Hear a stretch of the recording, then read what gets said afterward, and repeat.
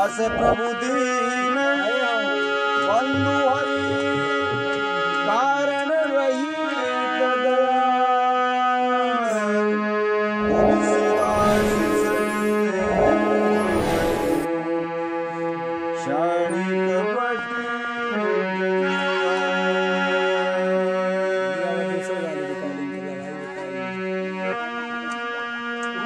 चले